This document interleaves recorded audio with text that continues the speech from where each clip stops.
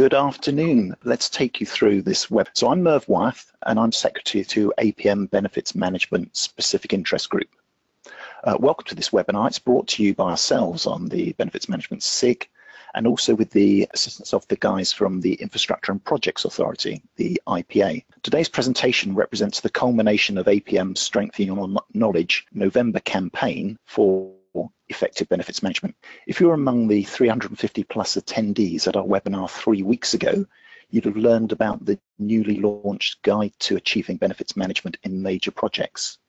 We ran three polls that day and the write-up, the presentation, the recording and the Q&A uh, are now available on the APM site. Today, colleagues from the IPA are going to tell us about two more initiatives to professionalise the project delivery function. And project delivery is one of 11 functions of government. And this is not just about major projects, it's relevant to the entire civil service, all public projects, and ultimately you and I, citizens who demand taxpayer value from projects and programs undertaken on our behalf. This week, the NAO published a report on how the IPA will support Brexit, and you can see an item about that on the news and opinion section, again on the APM site. The briefing describes how the IPA is supporting departments as they initiate and deliver projects to implement uh, uh, exiting from the EU. And there's some key facts early on in their report, uh, including the fact that 10 of the 138 existing projects in the GMPP uh, have been assessed as being affected by the EU exit. Um, there's a lot of reviewing activity going on and the, uh, the authority estimates that in the next uh, year or so, between 250 and 300 project and program managers are going to need to be recruited. So this is, uh, this is very timely. The webinar is scheduled to last no more than an hour, and it is going to be interactive. So if you haven't already done so, I want you to start by asking you to complete a short survey. And here I cue the software called Mentimeter. Um, and what I need you to do is to log into menti.com and enter the code. And the information there is at the top of the screen. The code is 725378. And I can see that some of you have already done so, so thank you for that. Um, the survey is actually configured to run at audience pace. So you can take your time or you can zip ahead, it's really up to you. And there's a mix of closed questions uh, and several where we're looking for short textual answers which will create beautiful word clouds. The questions have a character, these questions have a character count of 25, so you'll need to be brief. Afterwards, you'll be able to download the results for yourself and we'll publish them too. So uh, let's have a, a, quick look at the survey. Uh, first of all, we're interested in what age group are you, are you in?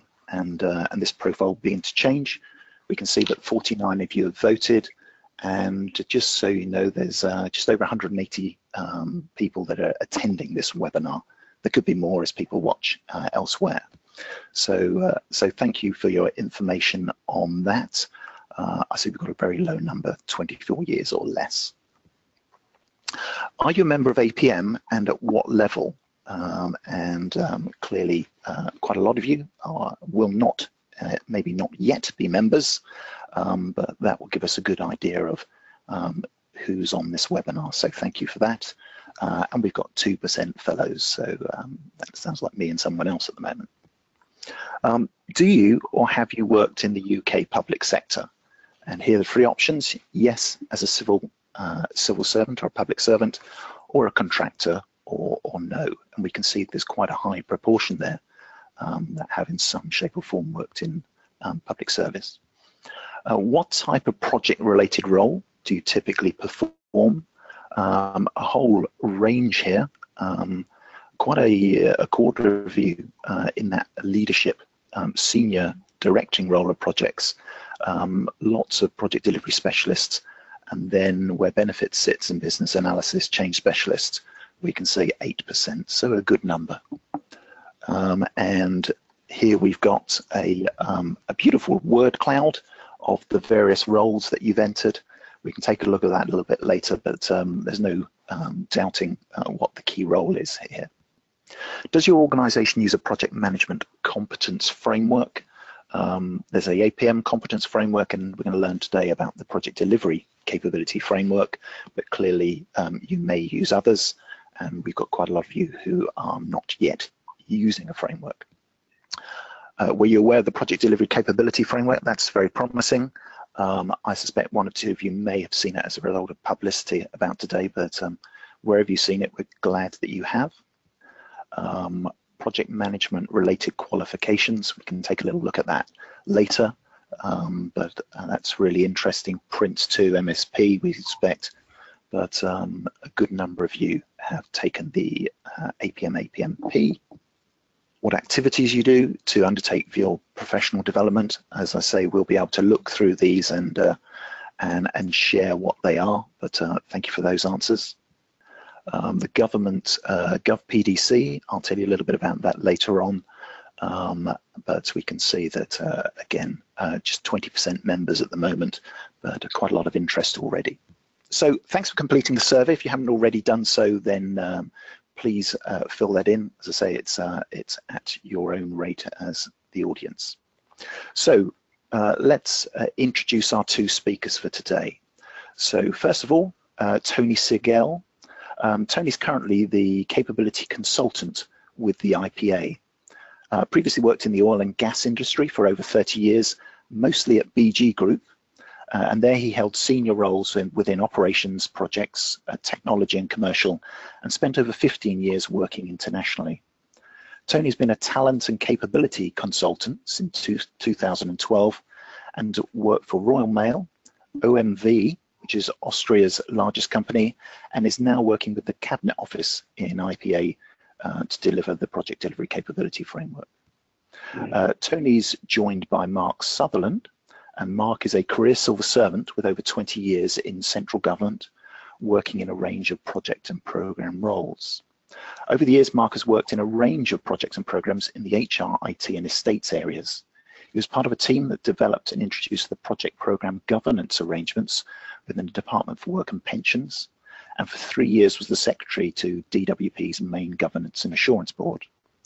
In his current role at the IPA, he's been working uh, with Tony on the development of the uh, PDCF and also on the Government Online Skills Tool, also known as GOST. So uh, welcome to our two speakers. We're looking forward to hearing from you. Thank you, Mer, for the great introduction and, and really enjoyed the survey. It gives us a great feel for, for who's online and, and who we're talking to. Um, so I, I was responsible for, for leading the development of the project delivery capability framework um, and it took about 18 months in, in total. Um, we finished it in May and, and put it in, in, line on May.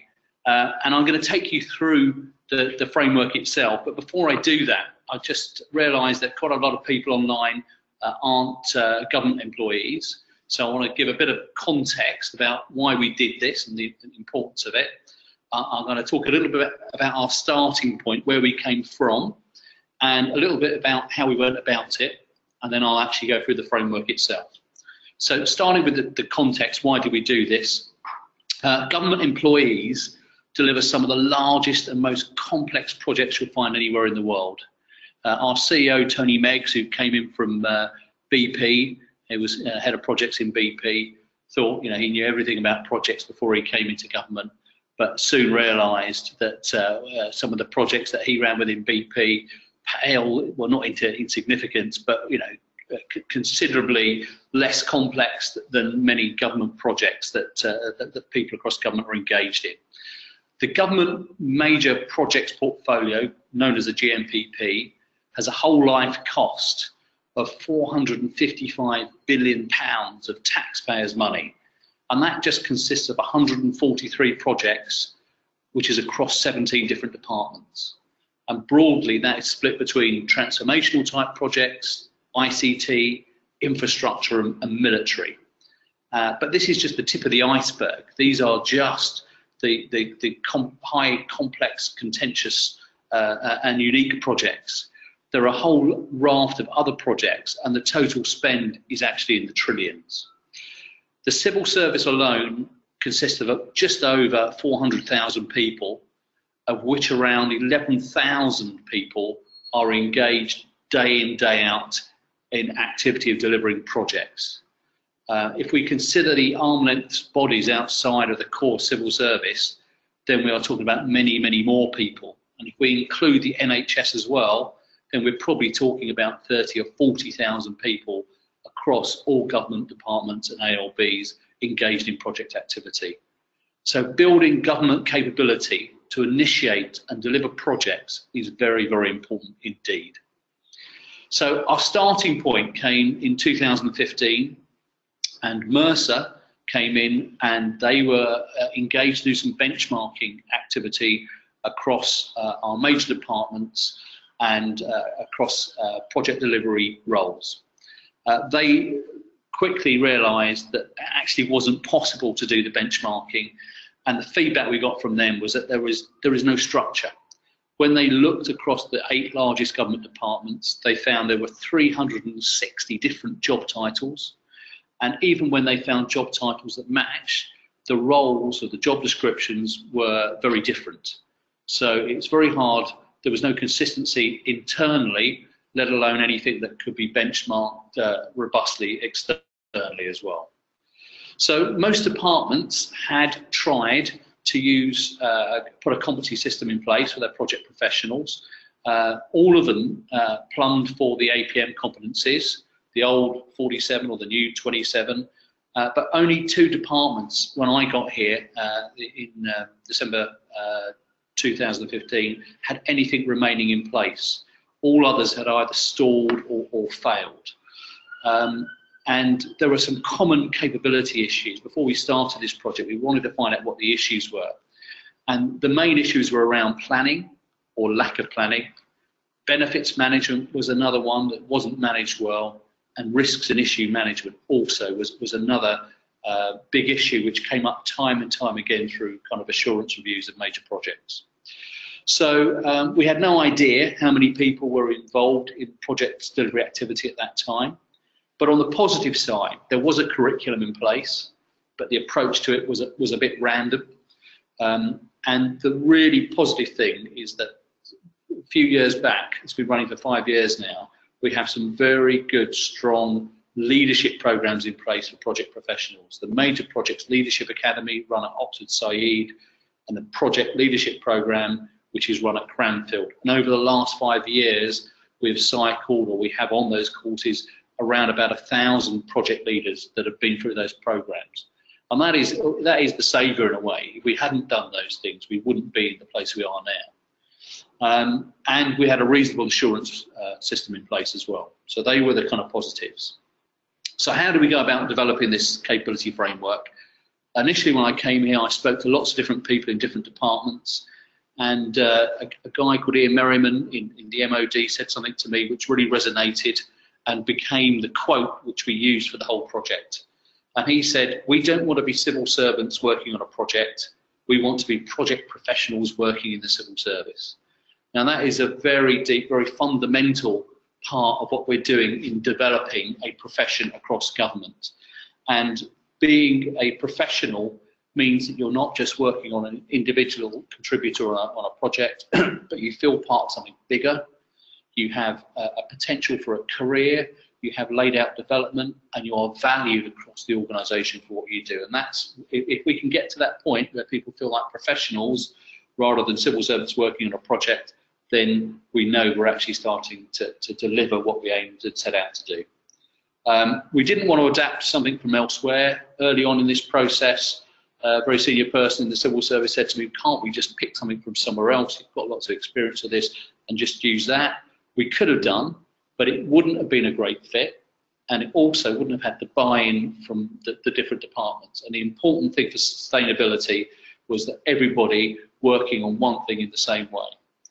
Um, in, we, we, worked with, or I worked with an individual from each of the main government departments who was the representing uh, uh, body of that department to develop this. But in total, we had over 100 projects project professionals that worked on this. And this truly is something that has been developed by government project professionals for government project professionals. Okay, so I'm going to get into the kind of presentation now. Ho hopefully you can see it on the screen. Uh, if you download this, when you see the mouse moving across here, it's actually an interactive PDF. It looks like a PowerPoint presentation, and you can use the arrow key here and just go through slide by slide but uh, it's quite a long document. It's 250 odd pages. Um, but it feels like a very light document because no information is more than three clicks away. Um, the three key elements to the capability framework are the career pathways, which is essentially all the roles that exist, different levels, and helps people navigate a, a, a career. The second part is all the competencies, and these are all the skills and competencies that people need, uh, which are profiled against all those roles and at the different levels of those roles. And the final bit, which is development, are all the professional development programs, courses, uh, but also not just those, it's the 70 and 20 as well. It's the kind of on the job, near the job learning, as, as well as the um, uh, uh, uh, courses and programs as well. So all the development that people can do to manage a career within project delivery. And on the right hand side here, uh, we have like, what is a PDCF? Who's it for? How do I access it? When should I do it? It's all written, you know, we took a lot of time getting the language right, so it was very accessible uh, for people in government and, and also outside. Again, you'll see here the career pathways, the competencies development, uh, uh, these little symbols and colours as well. All of this follows through into the online skills tool, which Mark will, will show you later. The really good thing about this as well is that there's a little back button. And uh, sometimes I think in these interactive tools, it's very easy to end down uh, go down a warren and not being able to get back from where you are. But here, you can always get back to the last page, so you should never get lost in the tool itself. Now, each of the three elements has a landing page, which looks very similar to the front page. It's all got our very nice new branding on it as well, so it's nice and vibrant and exciting. And again, we'll start with the career pathways. On the right-hand side here, you can look what is a career pathway, who's it for, when should I do it, etc., etc. So a good explanation of what it is. And on the left-hand side are the kind of key elements within the career pathways. The first one, which I'm going to show you very quickly, are the career pathways, and we are starting to build up a gallery of some of our key people that are, are long-term people in project delivery. And this is really to bring it to life, to show people that people have different careers, uh, come from different backgrounds, uh, Fiona Spencer is our, our head of profession within um, the Home Office.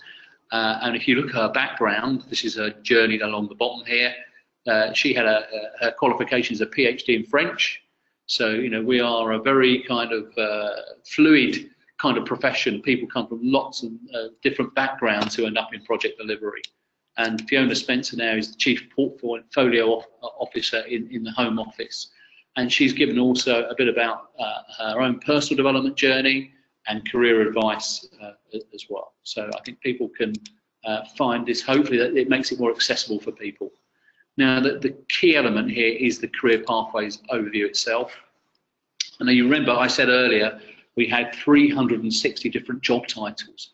Well, we worked very hard to get these down to some standard roles. And we've ended up with 19 standard roles uh, across government. Um, they are generally uh, in three uh, job families here. Uh, the leadership ones which you would expect to see, which are portfolio, program, project and PMO. But we've also, for completeness, included head of profession.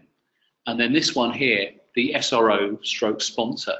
Now, SROs are very seldom full-time, uh, SROs senior responsible owner, very seldom a full-time role within project delivery. Um, but they are very accountable. They're accountable for on the GMPP projects to the Public Accounts Committee.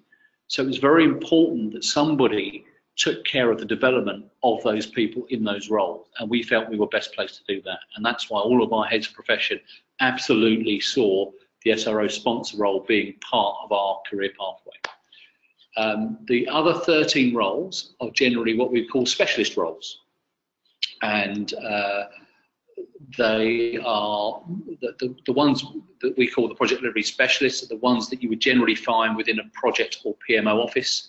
So it's things like project planner, benefits manager, risk and issue manager, etc. Uh, the two at the bottom here are the business change manager and business analyst. These are ones that you generally find within the business. And I'm going to correct myself here because the benefits manager and stakeholder manager are two which are on the cusp. Sometimes you find those within the project office, sometimes you find those within the business, depending on your local government, size of project setup, etc. Now, there are two ways of looking at these roles and, and, and drilling down. Uh, you can either go to the role itself. In this case, uh, as we've got Merv on the phone, I'm going to go to Benefits Manager. And there is a very simple description of what a Benefits Manager does. It literally is a couple of sentences long. As I say, all of this was written by project professionals within within government, checked by other project professionals, and we worked hard to get the language down to be as simple and as accessible as possible. So anyone coming from outside of our profession could also look at this role and within uh, reading that couple of sentences would very easily understand what the role of benefits manager was. We then looked at the grades at which this role exists and this, this is the civil service grades we're using, EO to G6 and we came up with a very anodyne labelling of this role. Uh, so we've got benefits manager one for the lowest role through to benefits manager five, which is the most senior role. Now there's a good reason for doing this. We didn't want to change everybody's job titles. Often their job titles mean something in their local environment or within their department. And it's quite an emotive thing changing people's job titles. But people should be able to relate themselves to a column on the uh, career pathways. So uh, the benefits manager two might be uh, called uh, just benefits manager in the home office. It might in MOD be called junior benefits manager. Doesn't really matter, that their titles are different locally as long as they can align to the capability framework. And then against uh, each role, we've put the different types of responsibilities that people could have, and we've described at the different levels the uh, what somebody would be doing against those uh, typical responsibilities. This goes on to a second page as well, and we've also got something called entry criteria. Now, we've shown a different criteria for those who are coming for a project delivery route and those who are coming for a non-project delivery route. And this is generally saying, is this a suitable entry point for somebody to come into uh, the profession? And for a non-project professional, yes, at uh, these first two levels, it, it is uh, uh, an entry-level position. Uh, the next level, it will be suitable for someone who had some experience.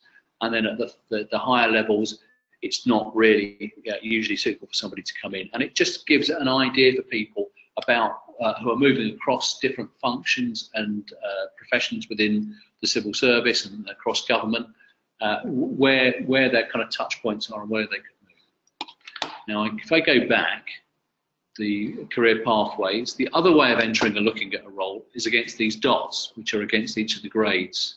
So if I go to SEO uh, uh, benefits manager and click on this dot, this now is that whole column slightly expanded. So it's the same role description, the typical responsibilities, the entry route, but now if I come to the second page, it will also bring out the competencies and the qualifications which are typical for this role at this level. now, I will come on to the competencies in, in, in, a minute, but we have 19 technical and 10 behavioural competencies. Uh, and then the qualifications, again, we agreed uh, these across all government departments. It was done together. It, actually didn't take a lot of work. Over two meetings, we managed to look at all the qualifications and come to uh, a complete agreement about which level that uh, typically people should be doing uh, these different types of qualifications against roles and grade. Um, none of this, must say, by the way, is uh, cast in stone. So we're not saying because you are a benefits manager at this grade, you must do these courses.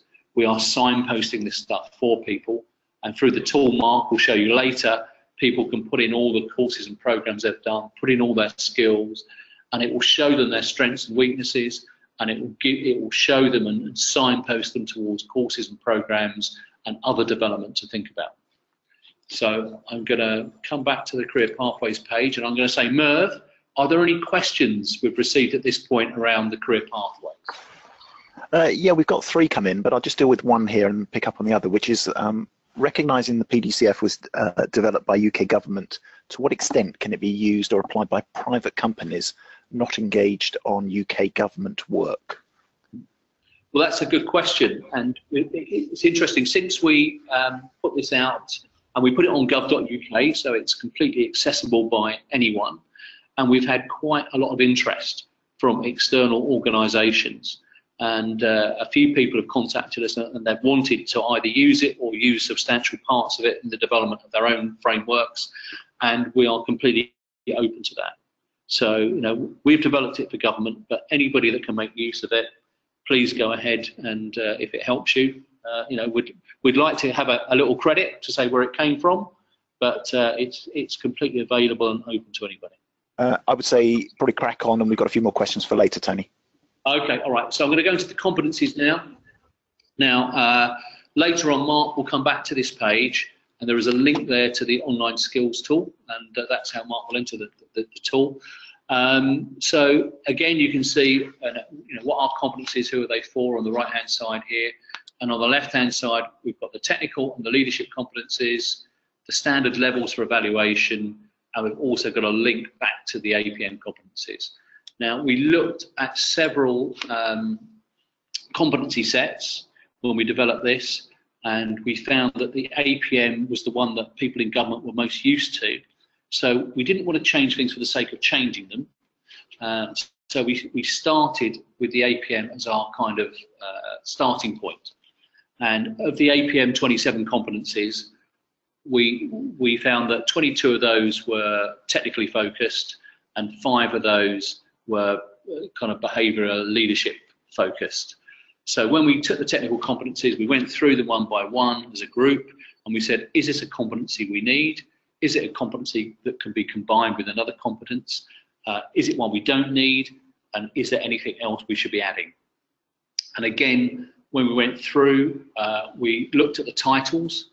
And so things like integrated planning didn't really mean very much within uh, civil service terms. So that one from the uh, APM we just call planning. Um, and so there are subtle changes to the titles, um, uh, but the descriptions themselves, again, I think a lot of people found uh, that, and, and, the thing that tends to kill competency systems is that they become too complex, take people too long to complete, um, and the language isn't written in a language which means something within their organization.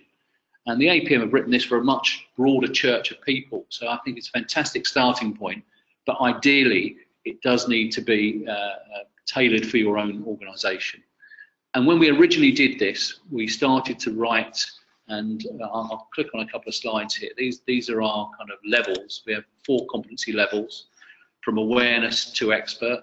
And again, these are levels that people were used to within the uh, uh, within government. So again, we didn't want to change those titles. Um, but what we have worked on is the actual description of those competency levels. And people have got a very basic description, so basic knowledge and limited or no experience, and then a bit more detail of those indicators underneath. But this stays the same for every competence. When we originally started writing this, we did write different descriptions at each of those different levels for each competence. But then we challenged ourselves and said, do we need to do that? Could we make it more, more simple? At the end of the day, we're only asking people to put a check in a box against the competence. Have we got enough there for them to understand what that competence is? So we challenged ourselves to keep, keep making this and keep it as simple as possible.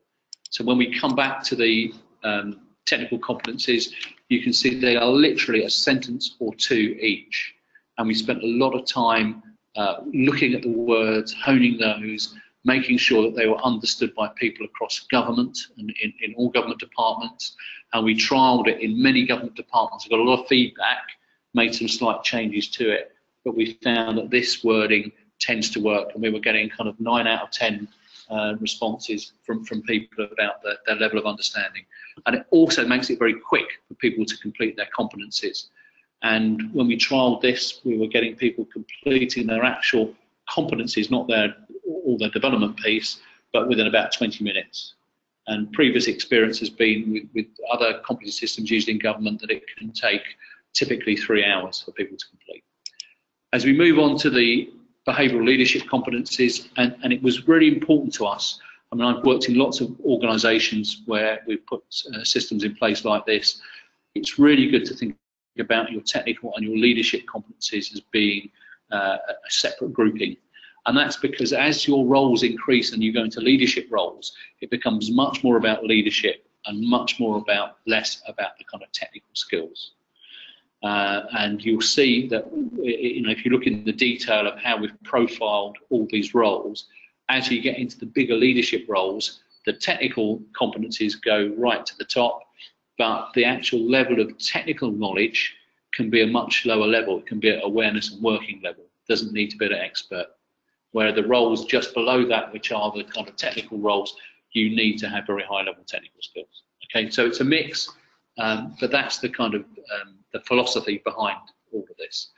The um, behavioural leadership competencies, we try to use civil service competencies that, that existed. Uh, anyone who's familiar with those, they are very bulky and there were bits missing. The word influencing is not used in civil service competencies or resilience. Um, and these were two very, very important skills.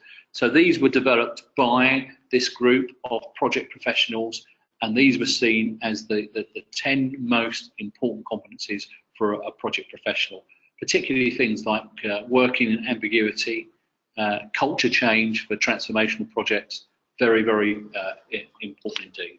Um, again, this is the four levels, and we've also shown here the link back to all the APM competencies because we are still uh, uh, promoting to our people to become RPP and uh, chartered professionals through the APM. Uh, that announcement is going to be made today, I believe, around the uh, around chartership. So we're very excited about that.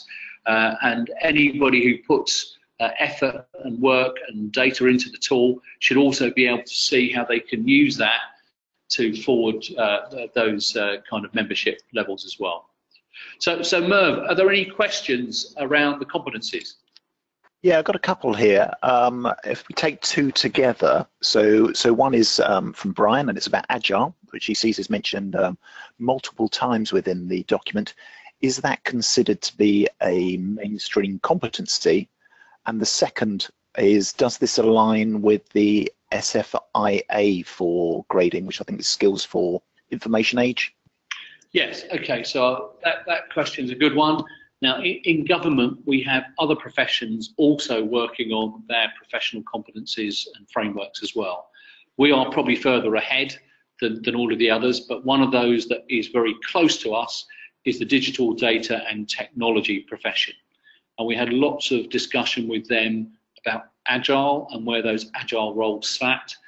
Um, and it's recognised that you know we still need uh, in in many most projects have some kind of uh, ICT element to them, and the roles uh, which are the wholly agile type roles, so product owner, service manager, delivery manager, and delivery manager are within their frameworks.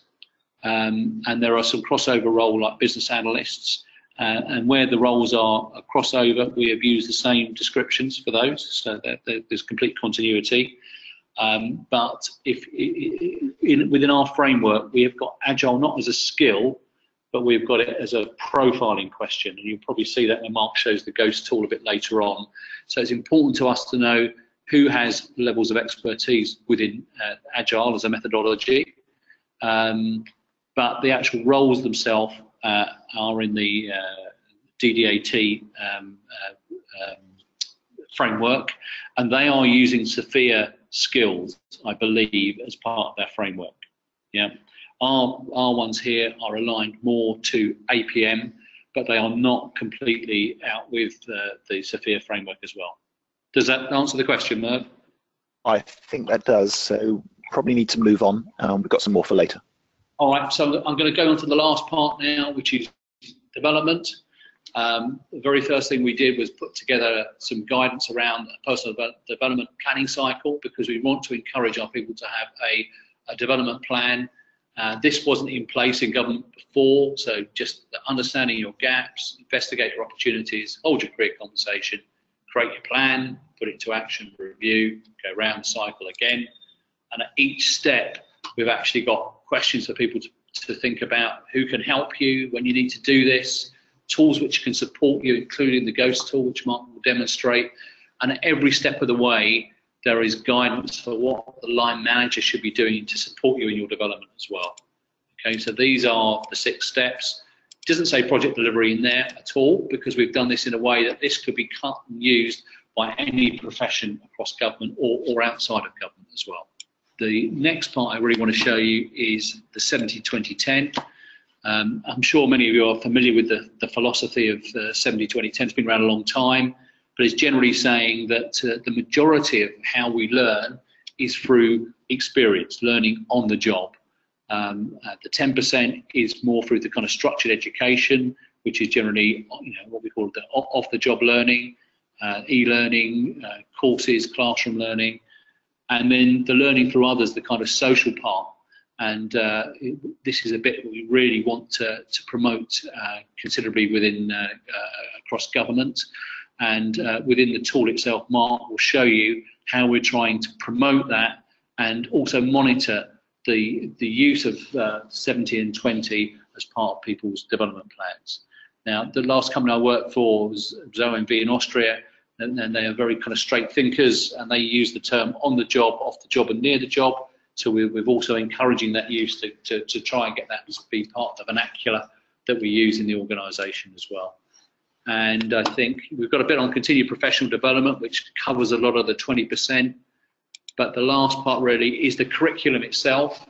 And rather than give a big spreadsheet with a list of loads of courses, we just wanted a kind of infographic which gave people an idea about how things built up, the kind of you know types of courses and programs you could do.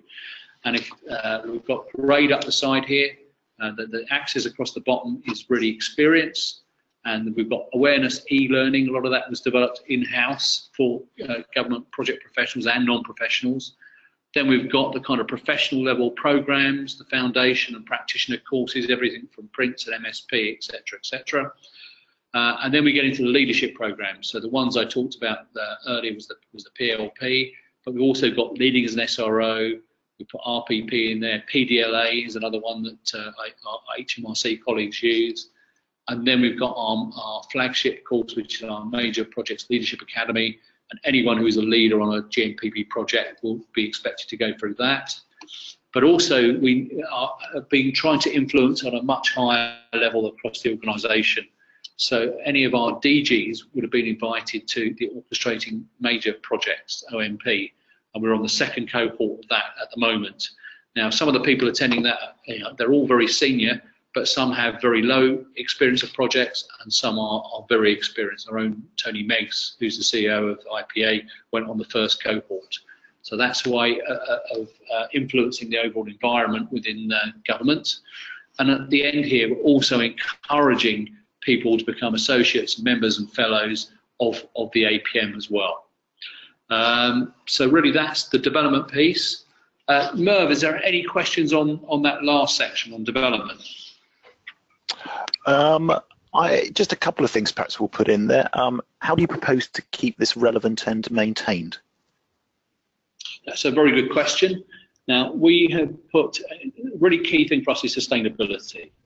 You know, we, this isn't the first time something like this has, has been done in government. And, you know, that when it happened last time or the time before that, these things have, you know, fallen on, uh, uh, you know, rocky ground and have become dormant. We don't want that to happen again. Um, the good thing is that John Manzoni, who came in from, you know, he's, he's also came from the oil and gas industry.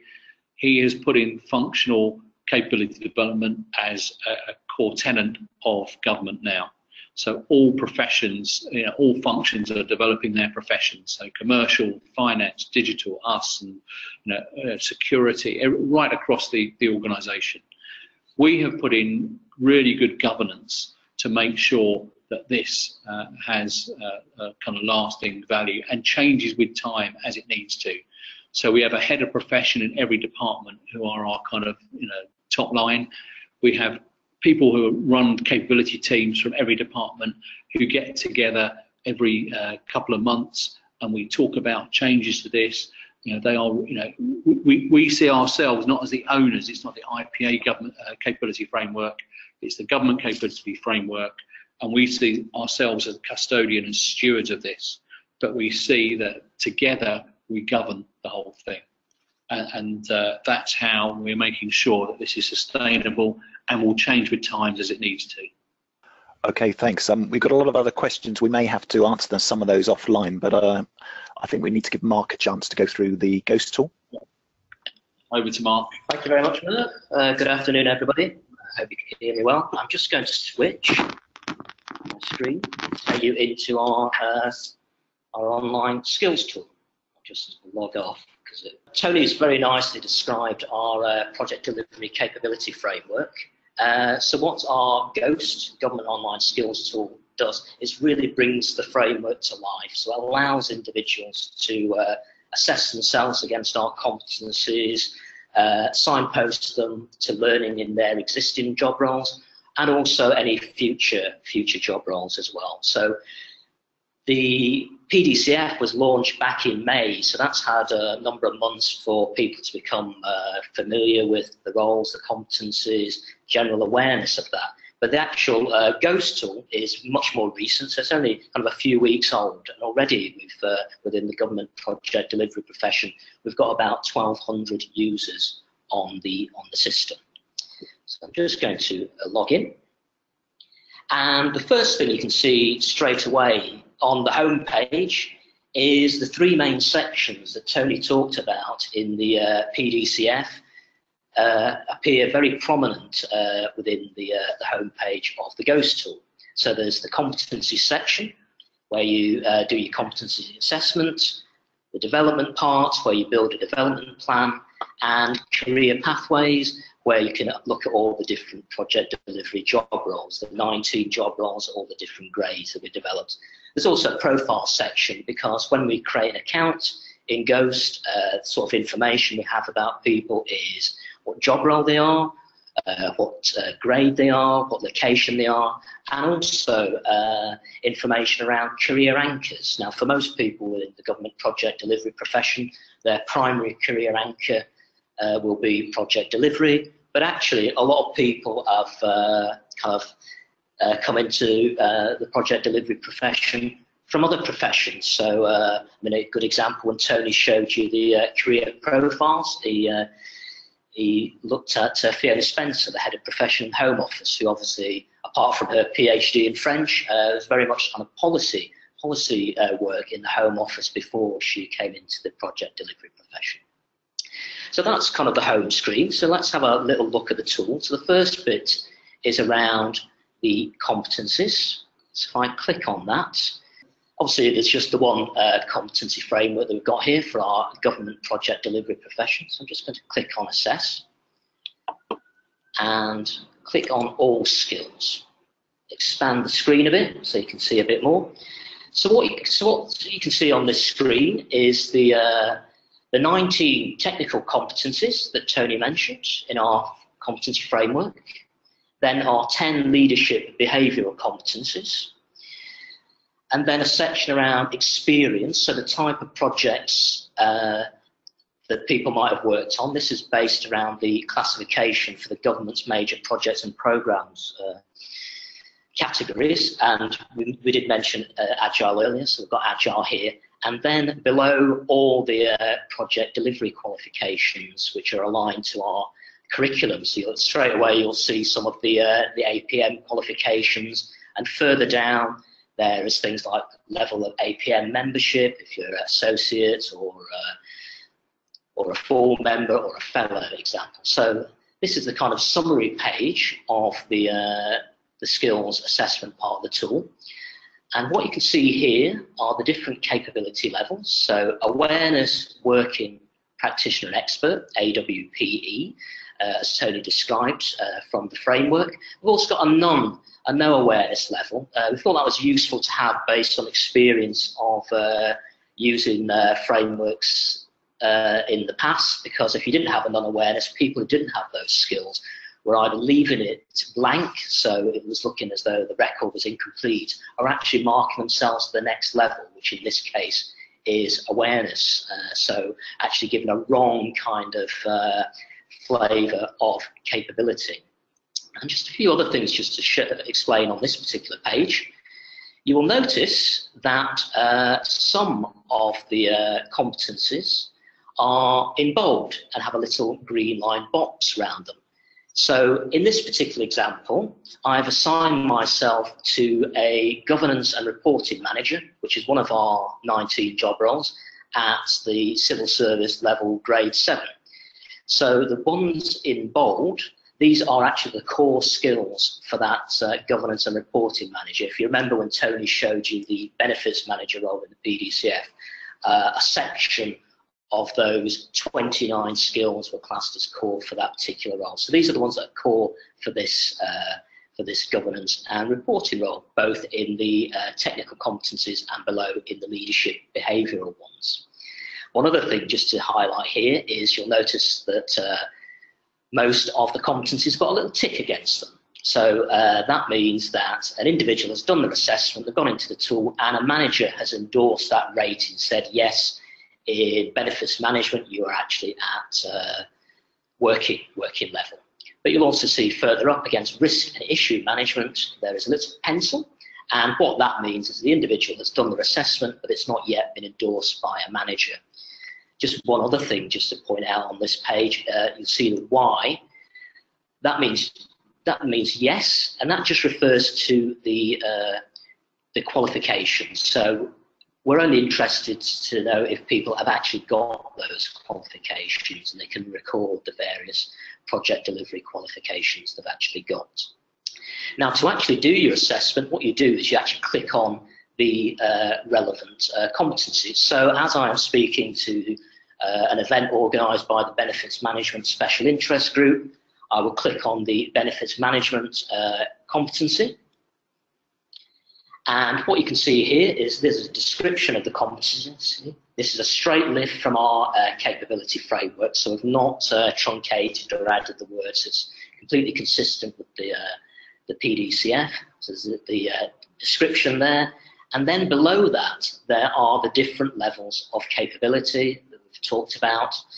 So when an individual is doing their assessment, they will uh, look at the description, look at the different levels and identify which level they feel they, uh, they fit best against.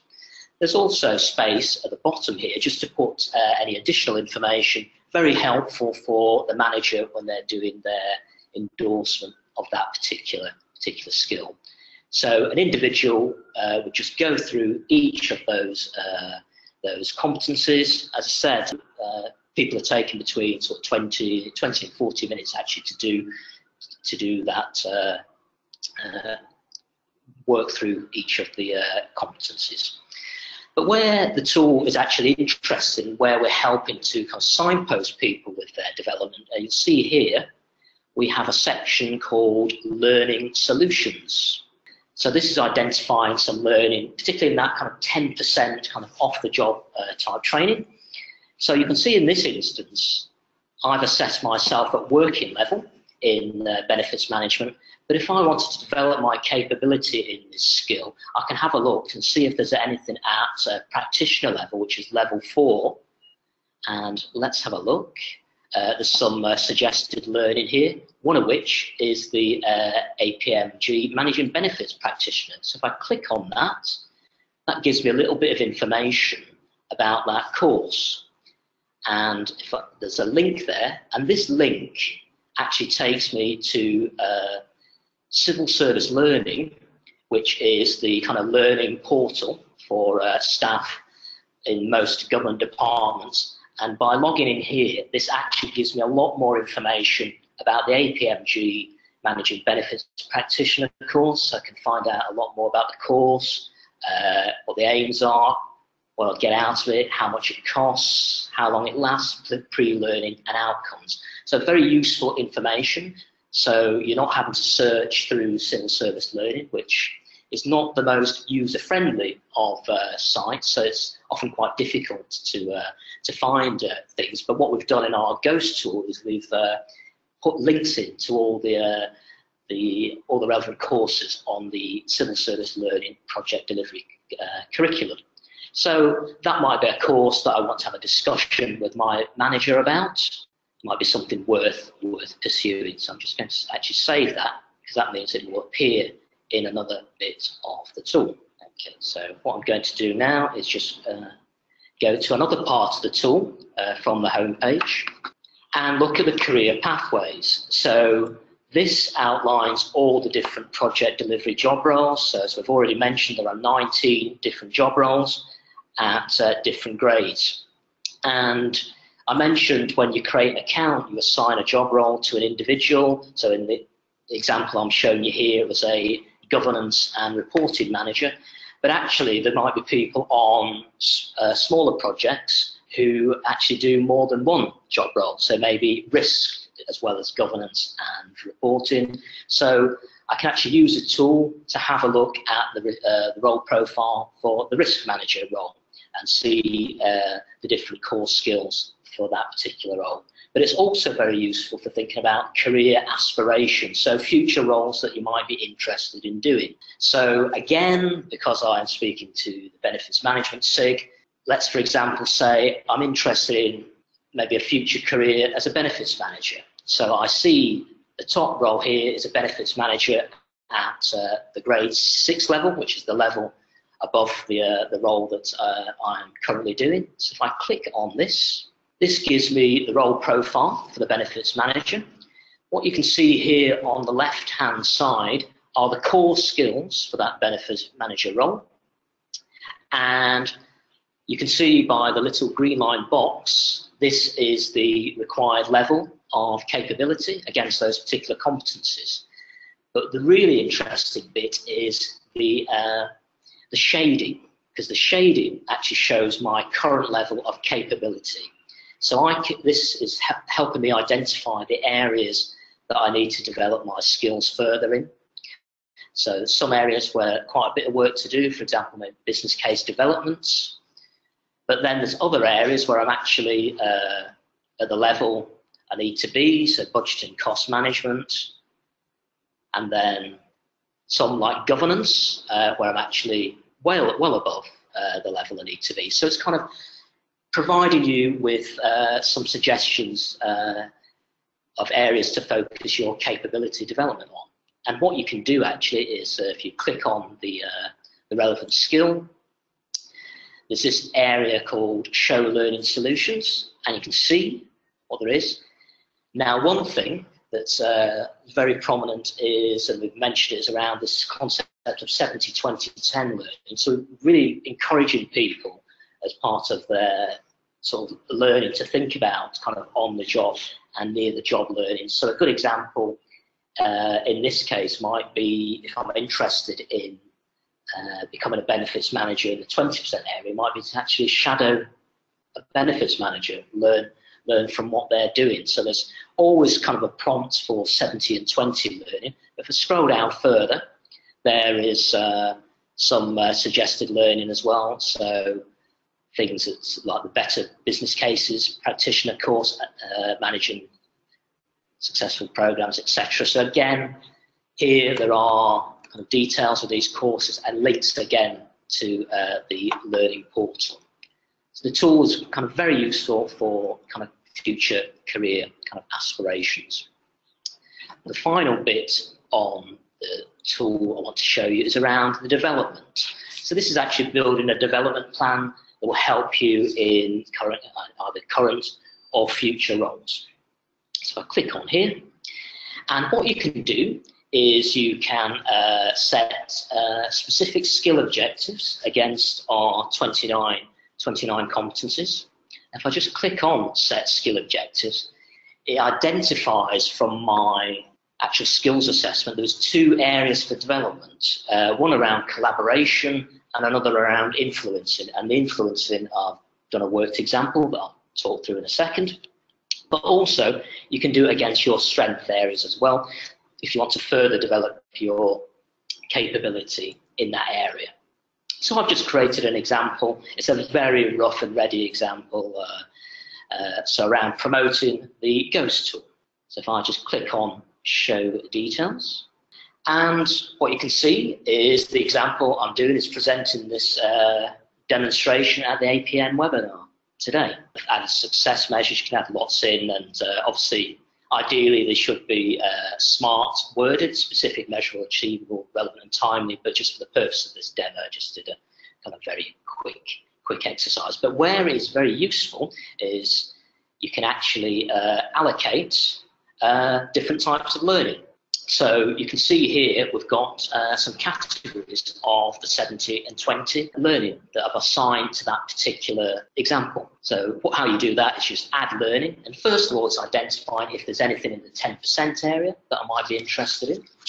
But if I'm interested in sort of uh, 70 or 20 learning, if I just click on find learning and just type in 70, it brings up the categories of uh, uh, on the job training. If I type in 20, it brings up the different categories of uh, of uh, near the job training, so things like coaching and mentoring, and slight small uh, short descriptions. Again, like the PDCF, have tried to keep the language kind of very clear and simple, and you can add the relevant ones onto your particular objective. So that's against specific competencies. You can also do a development goal which is kind of wider, wider, maybe spans a number of objectives. So I've done one around obtaining uh, registered project professional status by the end of March 2019. But again, it's the exact same process, allocating uh, different, uh, different categories of learning to that. So it provides you with a kind of learning plan. And you remember earlier, uh, we talked about the managing benefits course. So it's picked that up, and when I've had that discussion with my manager that this is something worth pursuing, they can then approve that, and this is captured within your learning plan. And there's also a timeline as you uh, do your various activities. And as things get completed, they are highlighted in this development record. So if I click on here, so I've already got some completed ones. Again, another one around sort of buy-in for the tool, around the influencing. And this was actually uh, presenting a demonstration of this tool to John Manzoni, who is the, uh, the Chief Executive of the uh, Civil Service and the Permanent Secretary in the Cabinet Office, who is uh, who really likes both our PDCF and uh, our uh, online skills tool. And it's a bit of a luxury today. We've got an hour to talk about it. Uh, Tony and I had seven minutes each to uh, demo the PDCF and the online skills tool. Uh, so this is real, uh, real luxury today.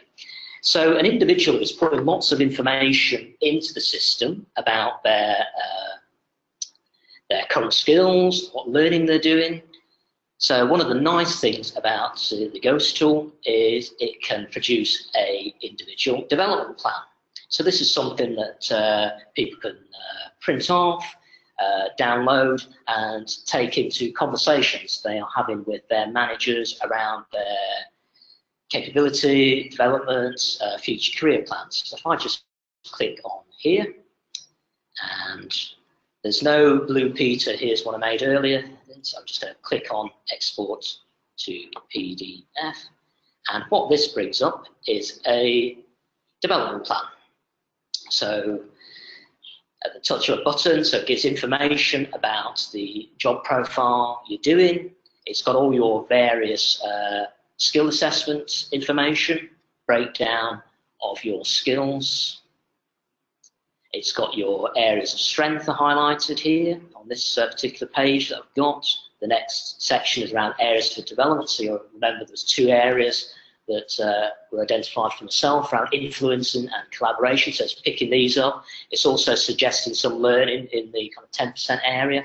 And then the really nice bit is around uh, this kind of breakdown of learning to into 70, 20, 10 as well, which is uh, very useful because obviously it's something we are trying to encourage within the government project delivery profession is this concept of uh, most of your learning is actually done on the job or near the job. So actually today, this webinar is a good example of the 20% uh, near the job uh, training.